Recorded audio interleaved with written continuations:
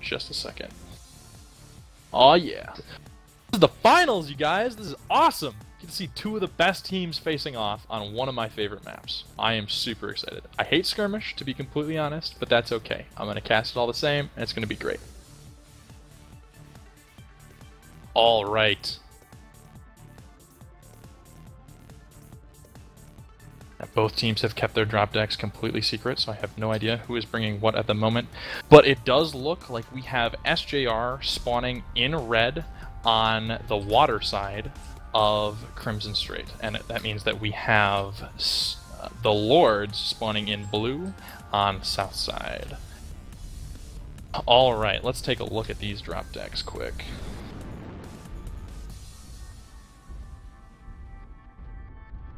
Okay, so from the lords we have four Dragon Slayers, three Cataphract, three D's, one Shadowhawk, a Spider, two Firestarters, and a Jenner. And so it looks like lords are in fact moving up around the right side of the mountain trying to get into that city. Looks like they've got Cobra and a Spider scouting it out. And then we have no, yeah, I, I, did. And then in red we have SJR spawning with, uh, looks like a fairly similar drop. We have four Embers, two Shadowhawks, four, five Dragon Slayers, and a Cataphract. So these are fairly similar drop decks. It looks like SJR does have that light advantage. And so we see Lords moving around. They're moving around the far edge of this city, sticking close to the water, trying to maybe get a drop on SJR. And they're doing it pretty quickly. We see Wispy and Peepers and Lightmax scouting out, making sure that they know where SJR is at all times. We have the same from uh, SJR in legal department and T-Fun getting some good scouting information. It looks like both teams are comfortable to just kind of group up, get everything set. Coburn from Lords is actually getting some very good scouting information up top of that mountain, but he's dropping down as we speak. Oh, we actually see an Artie strike go down. Not much significant damage, but definitely very interesting. Uh, early Artie strikes like that can do a lot of damage. Uh, you can get those early headshots off of one Artie, which can change the game completely. And again, this is skirmish mode, so you do see the the one kill advantage is definitely in place. If one team gets up by even that one kill, the other team is then on the back foot. Not only are they down a player, but that they have to push into you to make the engagement, because you can fall back to whatever the most advantageous spot is for you.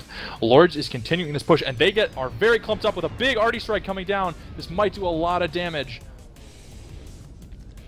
We see quite a bit go down. Uh, Trelevis Trevalius is at 83%, Eglar at 88. Some good hits go down there. Uh, Lords made a little bit of a mistake in getting so clumped up, but they come out of it alive, no mechs down, score is still even, and we're going to see a little bit of jump sniping right here. This is interesting. This is not necessarily where I thought the engagement would take place, but we do see uh, there's some good cover. Lords are trying to push their advantage a little bit, uh, moving, still staying aggressive, whereas SJR is swinging right, it looks like. We're going to see a little bit of that ring around the rosy play uh, going for that counterclockwise push to take advantage of those left shield arms on most of these mechs. Lords is actually getting fairly close to the rear mechs for SJR here, though. An Artie Strike goes down, and one of those Dragon Slayers is down to 72%. That could all just be in shield arm damage, but it's still a lot.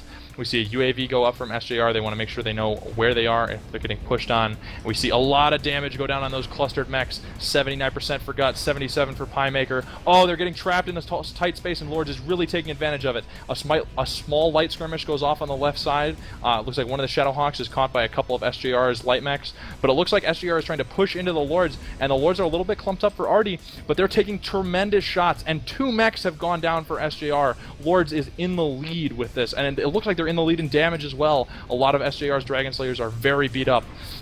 We see Banana Nut Muffin from Lords is a little bit out of place, and SJR is trying to catch up with him and do some damage. But Jaeger and a Dragon Slayer is getting caught out by these lights in the middle of that open ground, and that's not a good place to be. Two mechs go down for Lords, and one more, two more go down for SJR.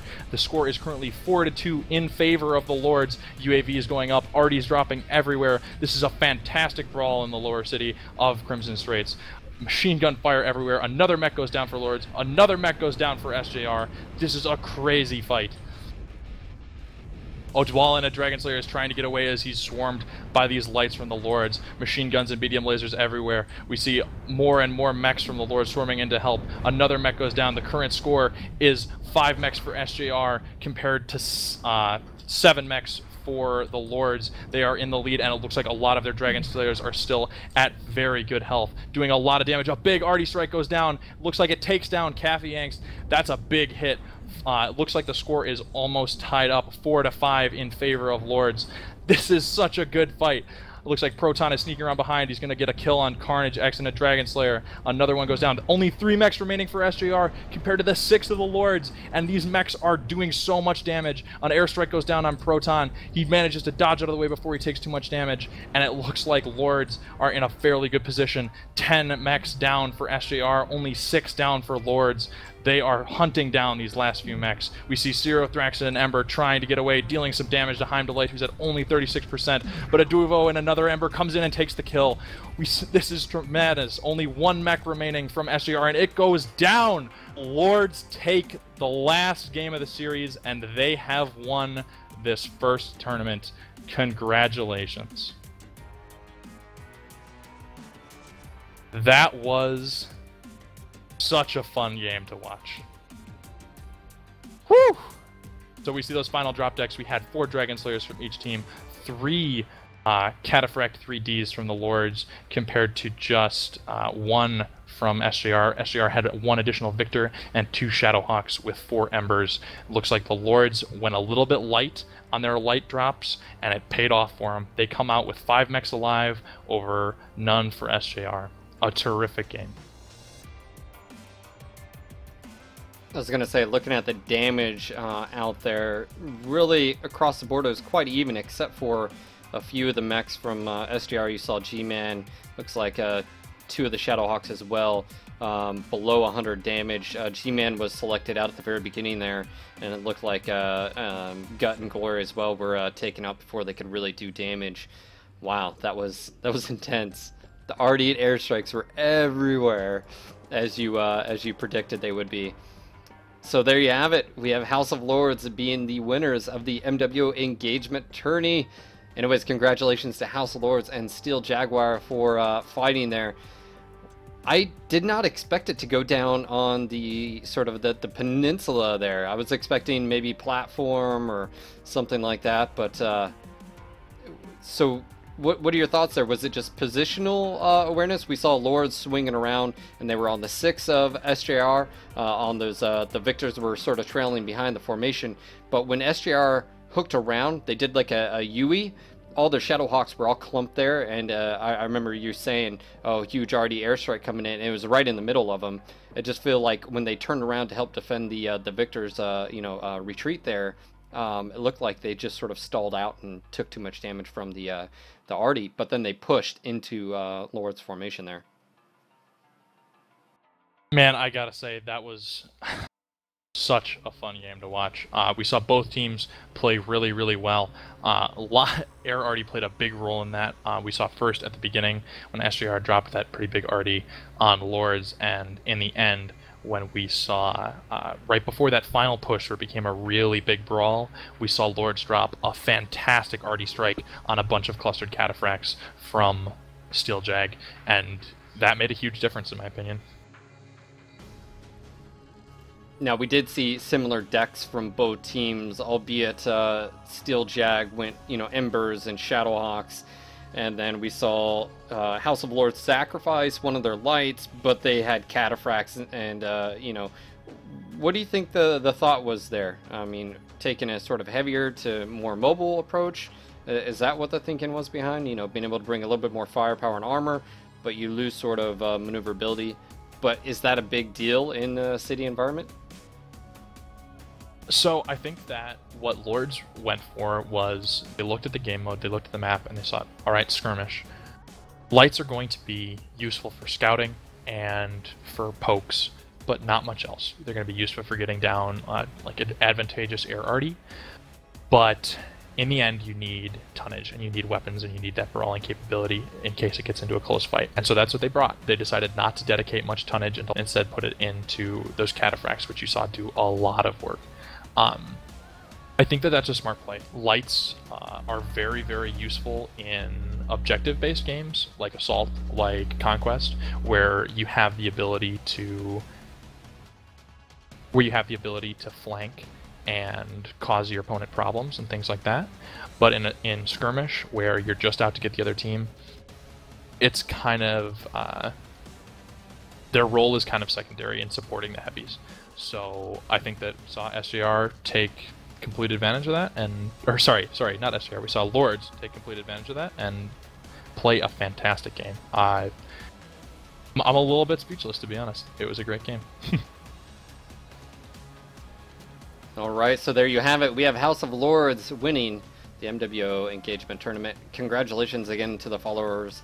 Uh, follow-ups there, Steel Jag, and then of course we also have Antara Scorpions and 228, which I think they were fighting a third place match, if you will. Yeah. Behind the scenes. They Do we have a result of that?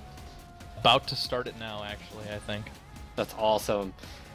All right. Anyways, guys, that is going to be it for this tournament. We will have more information on future tournaments coming, and uh, just make sure to stay tuned to MWOMercs.com. We have been watching the MWO engagement tournament uh, for MechWarrior Online. Head over to MWOMercs.com. Maybe you're new, maybe you haven't played in a while. Register, download, and be a part of this awesome community. Quick shouts out, shout outs to all of you guys in chat. You guys are awesome. Make sure to hit that follow button so you guys get email notifications of all of our Twitch streams. And of course, I just want to say thank you so much to Raffle Waffle, Seriothrax, and the Magician for doing shoutcasting and commentary for these matches. I just want to say thank you so much. And if you do not know, Raffle Waffle is the host of the uh, War Room uh, podcast and uh, you should check him out. Along with Siri is his guest host, and you've got a bunch of guests as well. And you guys primarily talk about the competitive scene, either matches, meta going on, different strategies. I mean, you guys even break down. So make sure to check that out, and that is at twitch.tv uh, forward slash Raffle Waffle 49. And he's also on YouTube as well, so you should check out all the War Room uh, episodes. Specifically, this has to do with the entire tournament we just saw, which is competitive play. So make sure to uh, check out all their content. And again, huge shout, shout outs to you guys. And uh, I think we got you guys a little bit of gift for helping out. I just want to say thank you guys uh, for doing that, taking the time out of your day, and hopefully uh, the gift, uh, you know, is uh, shows you how much we do appreciate the assistance and help. Hey man, I gotta say this has been one of the best experiences I've had in a long time. Um, I started doing stuff with the competitive scene about a little over half a year ago. I decided that we needed a show talk about the competitive scene, so I did it. And this has been like my dream to be able to cast one of these tournaments, get to see all the best teams in one place playing each other in a fair setting with the spectator cam, which has been totally awesome. Uh, I want to give a huge shout out to everybody who helped out. We had a ton of guys behind the scenes. Uh, Deadfire was feeding us great information on the teams. We had Barpa Noodle who made this incredible overlay that Phil's been using this whole tournament. Uh, all of the guys that have given us a hand in this, and especially PGI for giving us all these tools, making this tournament. Um, it's been an absolute blast. I want to give a shout out to everybody who has come to watch. I think I actually convinced my family, who don't really give uh, much about video games. I think I they even got them to come watch. So had a ton of people here. It's been a lot of fun, and I'm jacked for every continuing tournament. Um, big shout out to House of Lords. They played fantastic in this tournament. Uh, I was sorry we couldn't beat them, but I'm glad that they won. Makes me feel a little bit better about losing to them.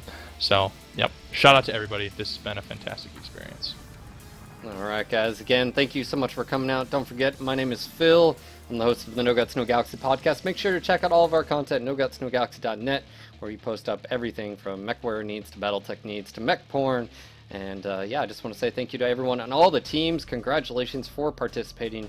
You guys did awesome, and I can't wait to uh, do this again in a future tournament. And uh, yeah, get, get to see some live uh, mech porn action. Anyways, guys, this has been the MWO engagement tournament. Congratulations to House of Lords and all the teams that participated. We will see you uh, next time. Have a great weekend. Be safe. Don't do anything I would not do, but what the beard would do. And again, happy birthday to you, big guy, Bombadil. I know uh, it means a lot. All right, guys. We'll see you next time and next week. Until next time, Mech Warriors. Peace. Thanks for watching, everybody.